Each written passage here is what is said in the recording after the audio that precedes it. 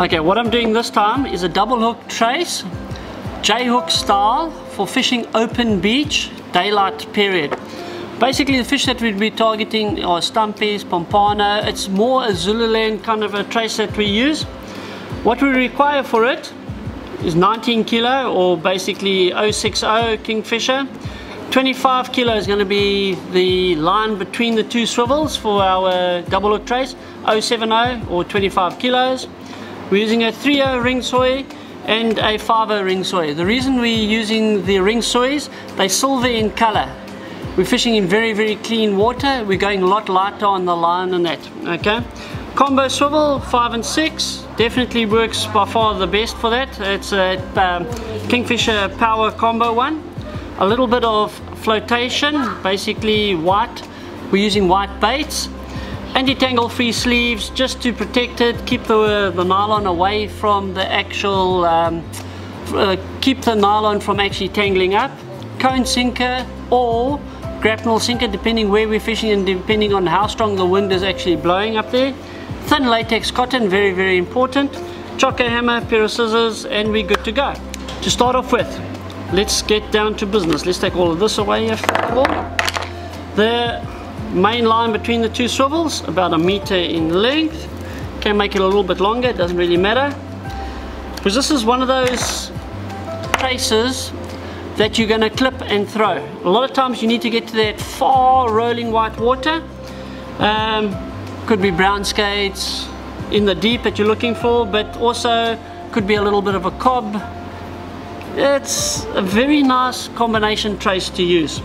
Okay, so starting off, big eye to the top, that's going to go to your leader. The bottom eye is where we're tying the 702. So again, it's very simple. It's a figure of eight. You can go back in our previous shows. I've tied it a million times. I'll just show you again how to do it. There's your figure of eight. Put your fingers inside between the actual swivel and that. Lubricate pull tight, slide down. It's a very simple knot. I use it all the time, 99% of the time that's the knot I'm going to be using. Cut it off as close as you want. 1.2, 1.3 meters in length.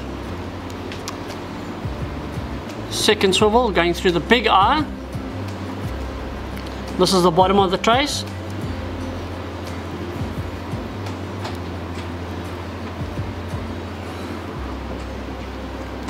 Lubricate and slide it down slowly so you don't burn the line pull as tight as you can. Cut off tag end. You use this style trace as well a lot in the Eastern Cape for catching lessers obviously bigger hooks but that's pretty much what I've done here. Okay. Next. Hooks. I'm going to take one of those. That'll be my 3 this one here is my 5 It's just a bigger hook, bigger bait, targeting a bigger fish. Okay, so those can go down there. And uh, 19 kilo, sometimes I even go down to 16 kg in the Kingfisher nylon. All I'm going to do, figure of eight. One, two, and again, three times. A very quick and easy trace to make. I like to make at least three of them up before I walk the beaches. Just saves a bit of time. One done. And you're making them at least 30 centimeters in length. Okay, I might be doing it a bit fast for some people, but like I say, you can just go and view how to do a figure of eight in our previous episodes of ASFN.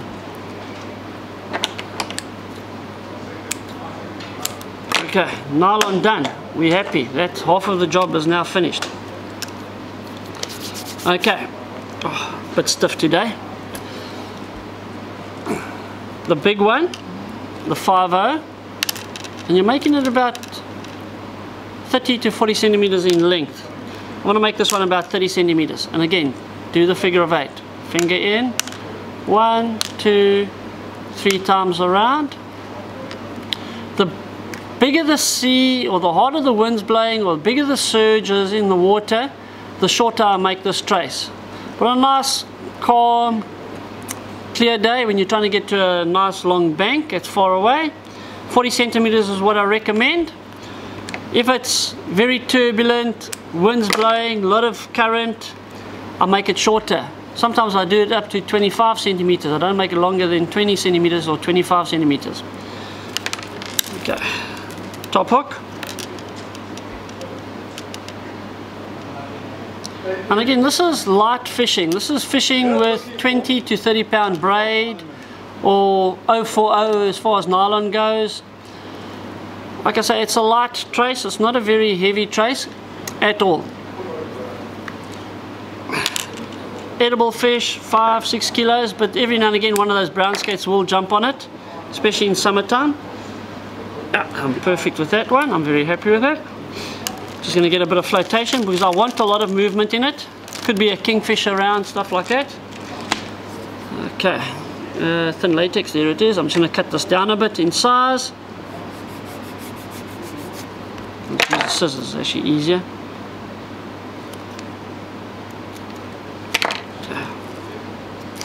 Basically what we do is we just the eye of the hook comes pretty much in line with the back of the actual flotation that you're going to use. The eye of the hook, the point of the hook, sorry. And we just tie it on.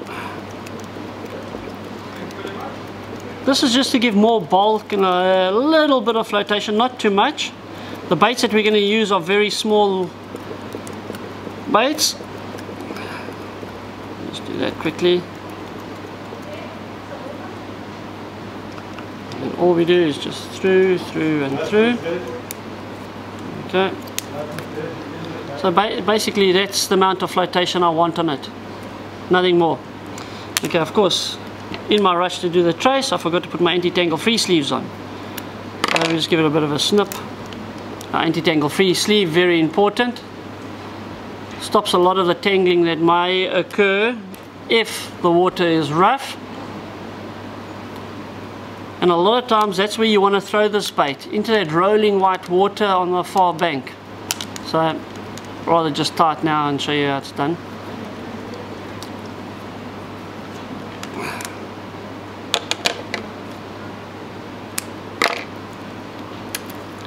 Slide that one down. A little bit of lubrication every now and again. Saliva that is. Over the knot just to protect the knot. It also hides the swivel. You can actually push it up quite nice and far just to hide the swivel as well.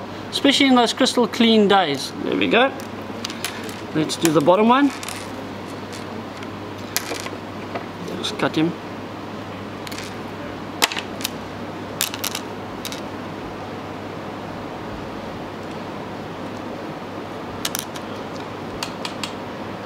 Okie dokie and again just a figure of eight.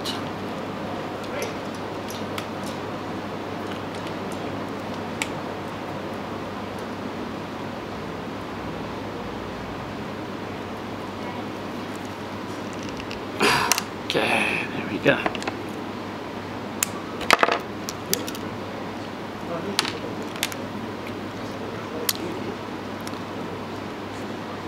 Okay there we go. Grab another one of those foams. Bigger hook, obviously going to be a bigger piece of flotation. I'm just cutting in from the back. Okay. And again, very simple. Point of the hook, almost in line where you're going to actually start with the float, the foam. foam. Again, thin latex cotton works the best. Absolutely love this stuff easy to work with. There we go. If you need a lot more flotation, you can just add another one. It'll just bulk it up quite nicely, especially if you go thicker on the actual main snooting or the line, your hook line. So if you need more flotation, you just add another one to it, and preferably underneath. Okay, preferably underneath. Let me show you how it's done. Okay. Let's get that one off. Okay. So basically you take that and add it underneath because it's in line with there and I've tied it, you've got a big gape still. If I had it against it, with the other one against it, there's very little gape left to actually hook the fish. That's why we tied so far back. Okay, let's just do this. And you can compress this foam quite nicely. It's a lovely foam to actually work with. You get them in red, you get them in white. We're making chokka baits with it and prawn baits, so white is definitely a preferred bait, especially for the Zululand area. If I was in the Eastern Cape and I was using bloody baits like sardine and that, I would make it red. Just adds into the color of the actual bait that you're trying to achieve. Okay, so we do that quickly. Again, just through, through, through, through. and this thin latex will go totally translucent in the water as well. Just mold him a bit so he's round. okay, let's do the sinker snooting. Uh, 16 kilo, what have we got here? 19 kilo, it's fine. Okay. This part here is the bottom part of the actual trace. It's going to the sinker snooting or the cone sinker that we've got there or the weed eater grapnel or grapnel, it's up to you. Slide it down. Pull it's in a straight line so it's fine. You can pull as hard as you want. And what we do is we make it about that length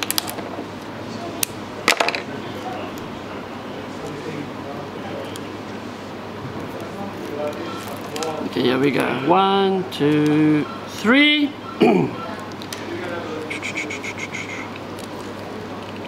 Slide it down. Cut it off as close as you can because you don't want to get cotton tag caught around it. And we just measure to see. Okay perfect. I don't want longer than that. Also another little trick. Most of these sinkers that you do get unfortunately the loops are made on it quite big depending on the baits that you're doing because we're throwing a very small fine bait that loop is too big so we're just going to take a pair of side cutters and just cut him down just watch your eyes when you do this. Okay. So that the loop is a lot smaller. Okay, let's just have a look see. That is perfect for what we're trying to achieve. Okay, perfect, 100%.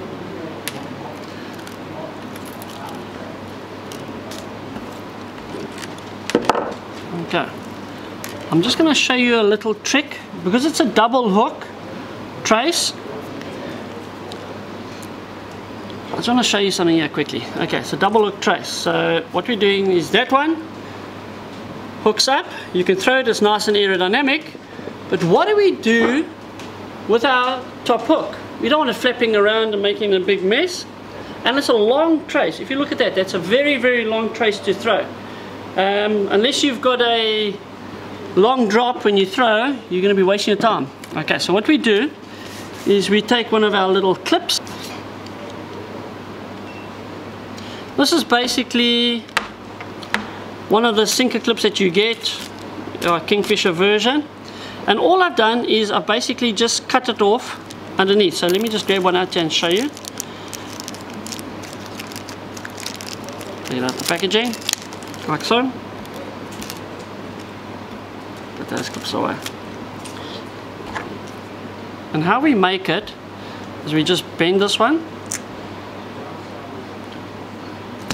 take our side cutters in there, and uh, like I say every time, just watch your eyes when you're doing this.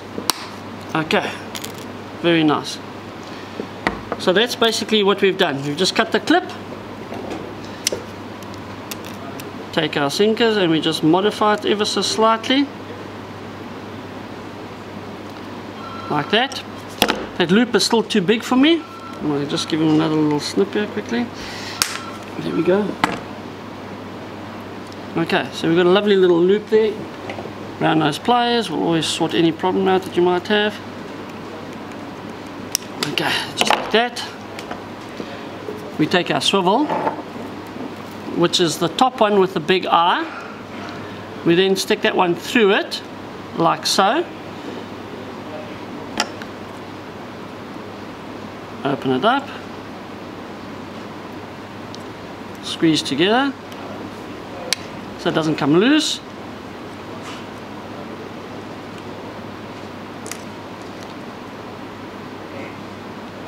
And that's basically our second clip done. So what we'll do we'll then take that one and hook it on there. Then this one is hooked on there.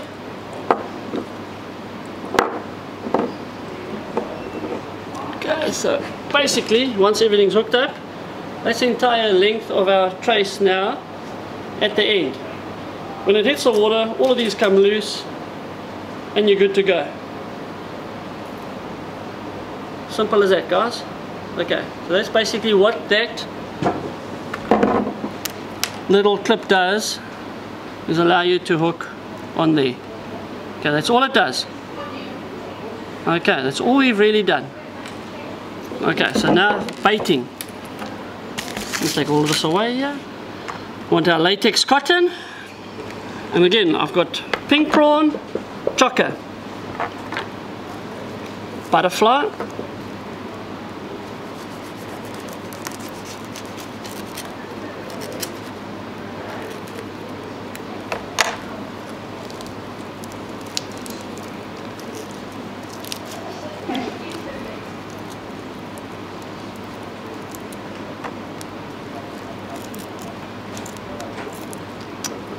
Okay. Lovely Aitken pink prawn. Ooh, very nice. We've got our chokka. I'm just gonna take the blower part out over there. Put that down a bit.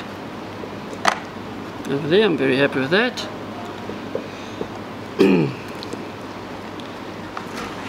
and gonna take myself a nice thick piece of chocolate like that.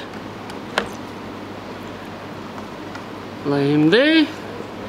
And of course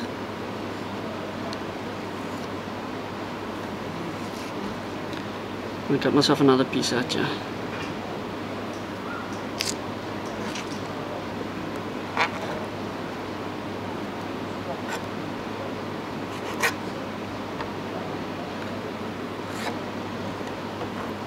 Okay. There's two options that we can do here. Okay. Basically, there's my bait. I'm just going to go through how we go about baiting it up. Okay. The top hook can either be a blob bait, if you want. In other words, it can be a bait that you take a piece there, hit it with a chokka hammer and it is a small ball about the size of my finger. Not bigger than that. It throws nicely. If you need to get the distance that's the baits that I would actually opt for. Two big blob baits. Done. Very simple. But let's play around. So I'm going to take my prawn. It's a little bit bigger than what I want. So I'm just going to cut him down a bit. Like that we're going to go like this. We wrap it around over there.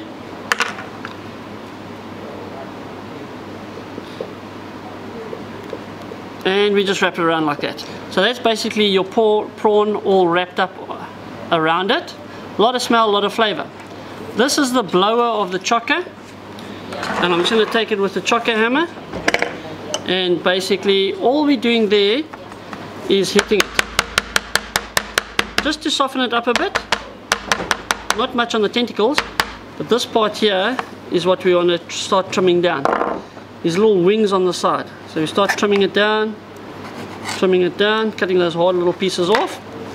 Soft side of the ch chokka hammer. When I say the soft side of the chokka hammer the, the one that's got the fine teeth on it. And that's we hit that so nice and soft that it is almost like snot. Okay, wrap that the other way around. So it's sitting there like that. Tie him over the actual prawn bait. Like so. And go back and we just tie him off.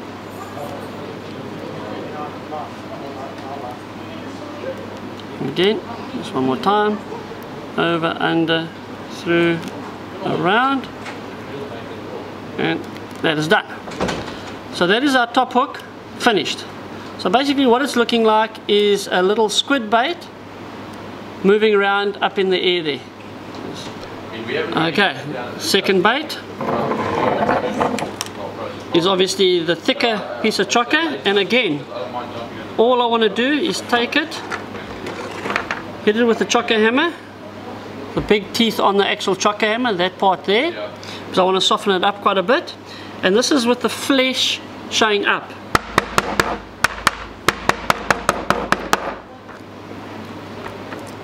Yeah. Okay, so basically I've softened this part on. And again I'm taking it on the top like that the thin latex cotton. And we just give it a pull. And you lightly wrap it around. Okay it's nice tender. Okay so that's basically all that we've done is we've got the two tentacles wrapped in there. We're going to take the thick piece of our chokka now, like so, and we're putting the skin side, top side, the thick part of the actual chokka hammer, we're going to hit it with.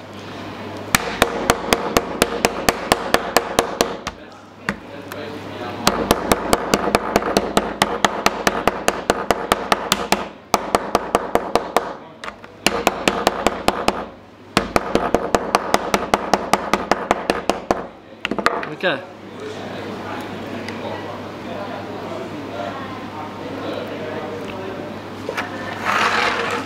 Okay, so basically what's happened there is I've hit it.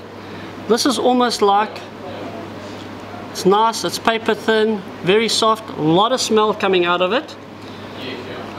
And we're going to wrap that around the chokka bait. Pretty much like we do our blob baits. It's to allow a lot of smell, it's going to fluff up and become a lot bigger in the water than what it actually is, yeah? And that's basically it.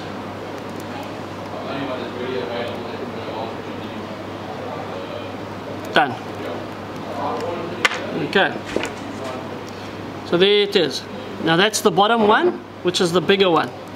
Okay now let's just clip everything and show you what the whole thing baited looks like when it's finished. So basically that one's going to go on there It's just so much easier when it's actually on your rod and you're doing this on your rod. Second hook.